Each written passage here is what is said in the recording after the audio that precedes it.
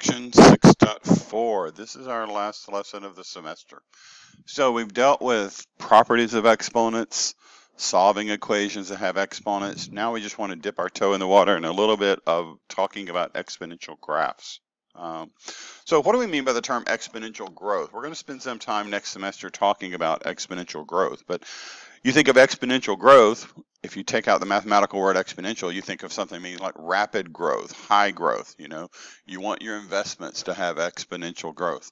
You know, if you're a company and you have social media, you want the number of users to have exponential growth.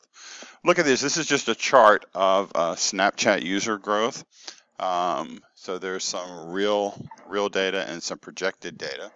Um, if I'm Snapchat, and I'm sitting in front of a group of investors, which of these graphs do I want them to believe? You know, I want them to believe that this is this is the Snapchat user growth.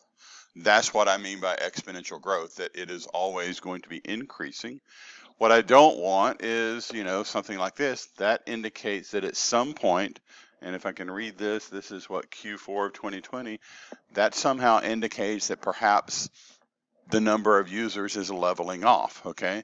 So, I mean, they still have a lot of users, but it means the period of growth is over. So that changes how a company um, would maintain and thrive. So if we look at these two graphs, you know, if you look at these, which is better? Well, if it's talking about user growth, then yeah, that top graph is better. So if you're talking about um, user growth, then, you know, it's the top graph is the better one. If I'm talking about cost per user, you know, so if I'm talking about cost, I don't want cost to be exponential. I want cost to somehow level off. So if this, if this graph were about cost, the second graph would be there.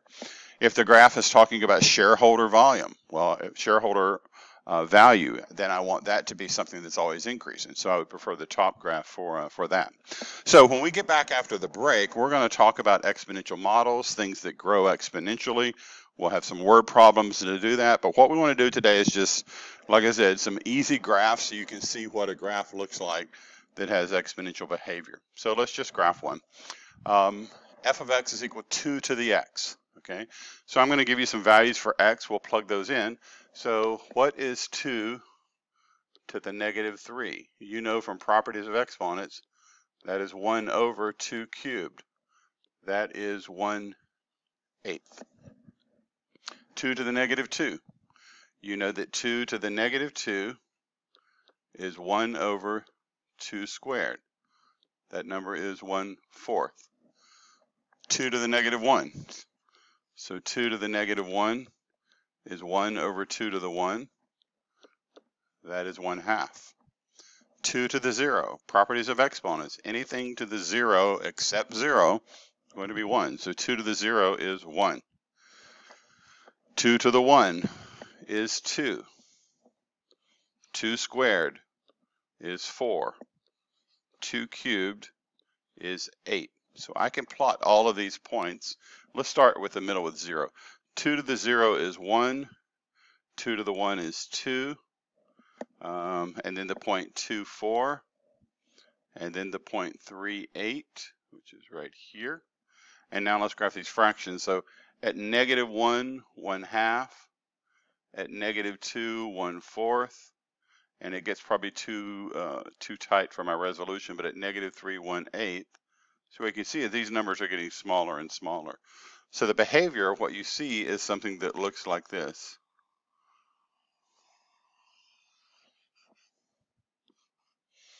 So that is my exponential growth. What happens is these numbers like negative 4, negative 5, you're getting closer and closer to 0. So what we say here is that y equals 0 is what we call a horizontal asymptote.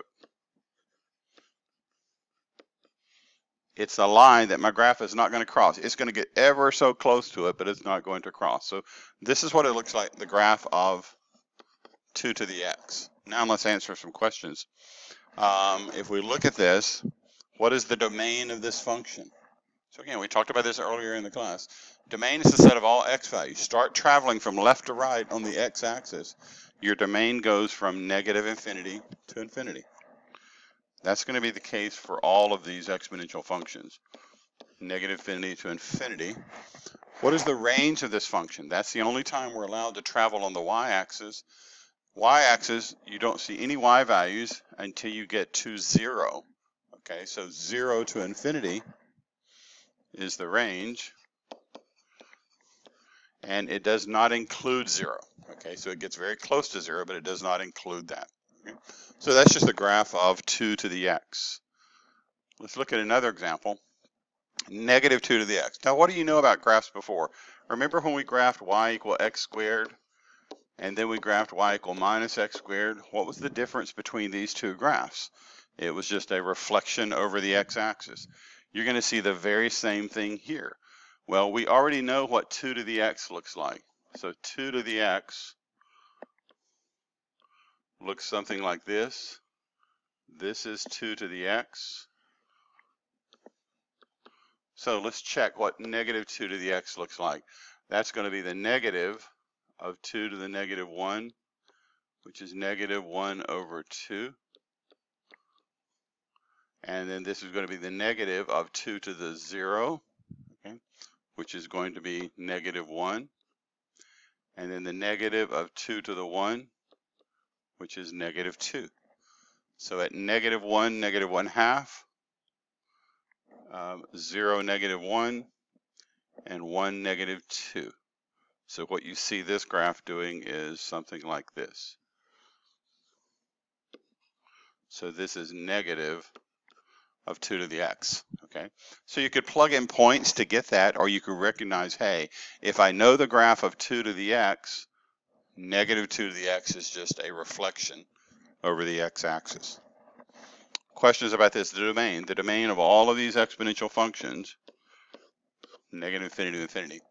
The range of this function, y values start what at negative infinity, and they go up to the value of zero. Uh, the horizontal asymptote is the line right here, y equals zero.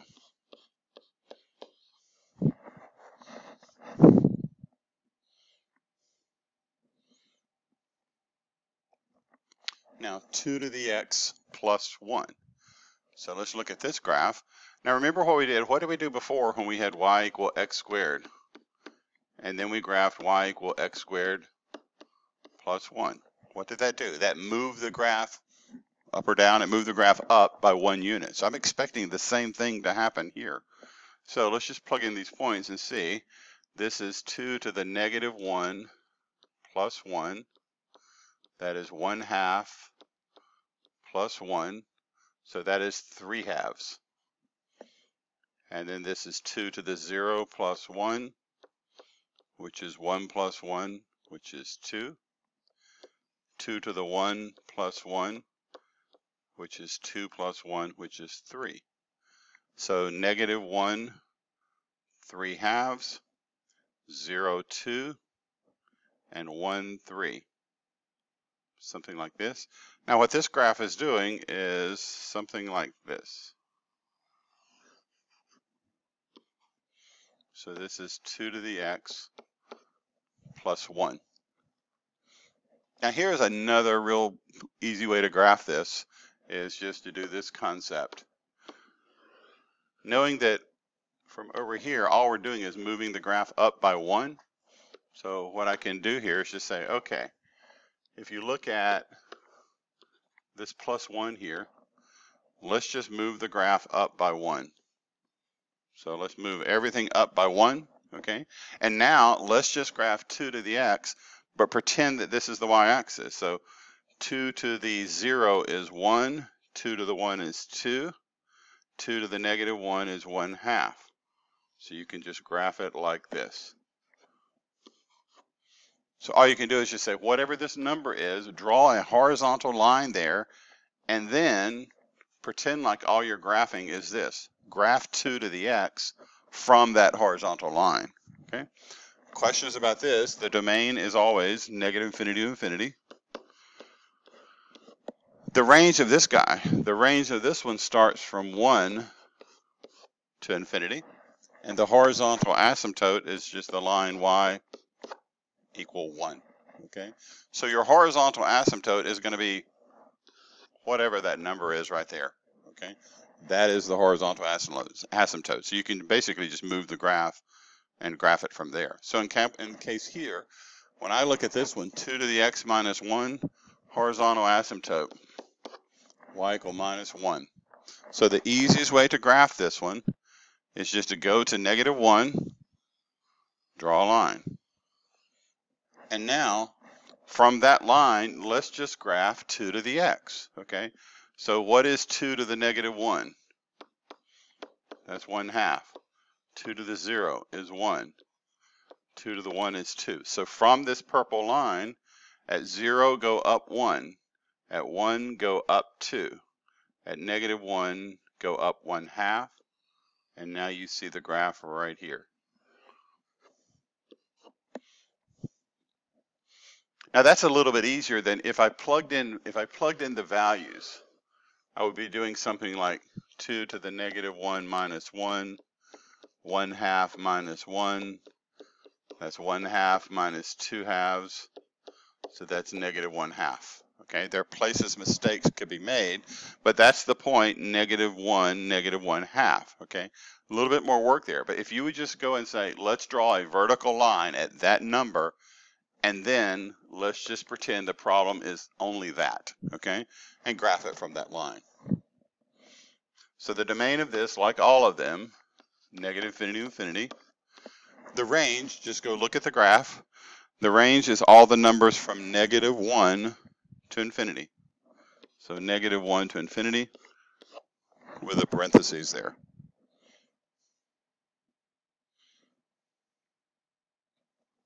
Now this one is a little bit different. The exponent has an x minus 1. So let's just look at this. 2, if I plug in a 0, I get 2 to the 0 minus 1, which is 2 to the minus 1, which is 1 half. Plug in a 1. 2 to the 1 minus 1 is 2 to the 0, which is 1. Plug in a 2. 2 to the 2 minus 1 is 2 to the 1, which is 2. So the point 0, 1 half, 1, 1, and 2, 2. And you see the graph doing something like this. And we're not going to spend a whole lot of time with this because we've run out of time this semester, but this is just, um, that's a horizontal and it moves it, what, to the right by 1. Okay, so it's 2 to the x, moved to the right by 1. So we're not going to focus too much on problems that have x minus 1s. There are a couple of them in the homework, but we're really not going to focus on that on the testing from now on out. If you look at this, the horizontal asymptote is right here, y equals 0. And so if you look at the domain of this, easy answer, negative infinity to infinity. The range is 0 to infinity, and y equals 0 is the horizontal asymptote. So again, the range goes from 0 to infinity there.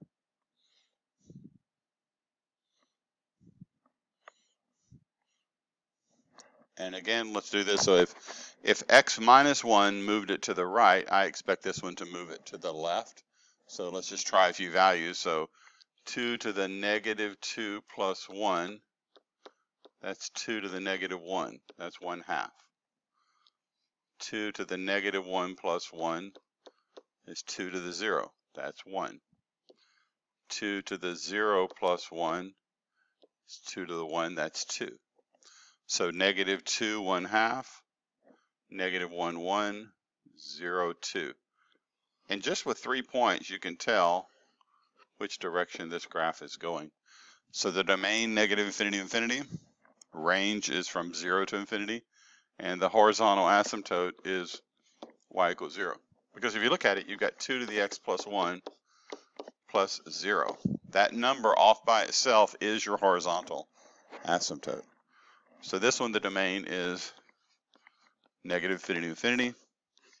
The range is 0 to infinity. And the horizontal asymptote is y equals 0.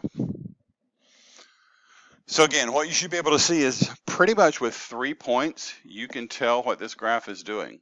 Um, so you can see the graph moving off in one direction.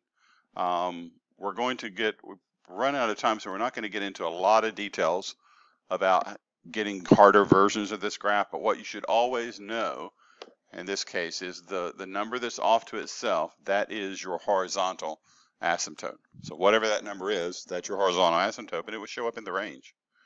So let's look at an example of 4 to the x. So 4 to the negative 1, that is 1 over 4 to the 1. That's 1 fourth. 4 to the 0 is 1. 4 to the 1 is 4. So if I graph these points, 0, 1, 1, 4, negative 1, 1 fourth, something like that. So what you see this graph doing based on those three points is right here. Now this is growing a little bit faster than 2 to the x. 4 to the x is going to grow much more rapidly. So you see a higher, a higher incline over the exponential. Domain, negative infinity to infinity. Horizontal asymptote, y equals 0. Range is 0 to infinity. So this domain, negative infinity to infinity. The range, 0 to infinity. Horizontal asymptote, y equals 0. This is a little bit different. 4 to the negative x. What does this do? So this is 4 to the negative of negative 1. That's 4 to the 1. That's 4. 4 to the negative 0. Well, that's 4 to the 0. That's 1. 4 to the negative of 1. That's 1 over 4 to the 1, 1 fourth. So negative 1 4, 0 1, 1 1 fourth. Looking at those three points, and you can tell the only thing this graph can do is this. So this is 4 to the negative x. And all I needed was to plot three points, and I could see the general shape. The domain is negative infinity to infinity. The range is 0 to infinity. Because there's a 0 out to itself here, the horizontal asymptote is just y equals 0. So negative infinity to infinity. The range is 0 to infinity. And y equals 0 is the horizontal asymptote. 4 to the x plus 1. Like I said, the easiest way to graph these is go graph the horizontal asymptote. Here's the line y equal 1. Now, once you've done that, it's basically you're pretending like I'm moving the graph up now, just focus on graphing that, 4 to the x, okay? What's 4 to the negative 1? 1 over 4 to the 1, 1 fourth. 4 to the 0 is 1. 4 to the 1 is 4. Graph these points relative to this purple line. 0, 1. 1, go 1, 2, 3, 4. Right there. And then negative 1, 1 fourth, something like this. So what you see here is the graph doing this. So when you graph this point 1, 4, it says go over 1 and 1, 2, 3. Oh, I did it wrong. When I say that, go over 1 and 1, 2, 3, 4, up 4 right there. Okay, So that is the graph. So the point is when you're graphing 1, 4, you're graphing over 1 up 4 from the purple line, okay? So it's really the 0.15. The domain, negative infinity infinity, horizontal asymptote, y equal 1, and the range is 1 to infinity.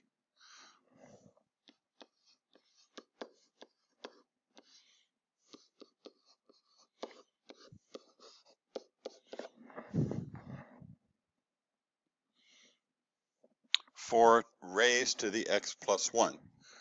If you plug in a negative 2 here, this is 4 to the negative 2 plus 1. That's 4 to the negative 1. That's 1 fourth. 4 to the negative 1 plus 1. That's 4 to the 0, which is 1. 4 to the 1 plus, uh, excuse me, 4 to the 0 plus 1 is 4 to the 1. That's 4. So negative 2, 1 fourth, which is right here, negative 1, 1, 0, 4. And what you see this graph doing is something like this. The horizontal asymptote is y equals 0. And I can see it because There's a zero off to itself right there. Negative infinity, infinity is a domain. The range is zero to infinity.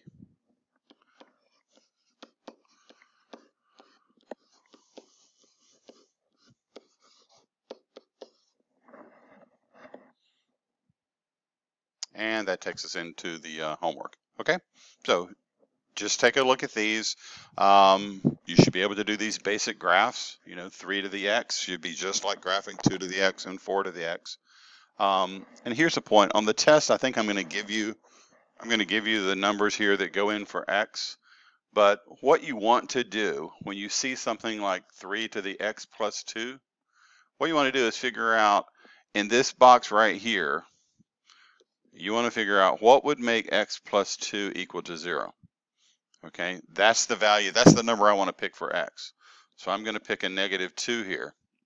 And then you just pick the numbers on either side of that, negative 3 and negative 1. If I pick those three numbers, I'll get a great representation of this graph. So what's going to happen here is when you plug this in, you're going to have um, 3 to the negative 3 plus 2 that's 3 to the negative 1. That's 1 third. 3 to the negative 2 plus 2. That's 3 to the 0. That's 1. 3 to the negative 1 plus 2.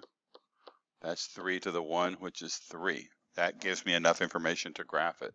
So when you see something like this, if I was graphing 3 um, to the x minus 3, and I'm trying to pick points,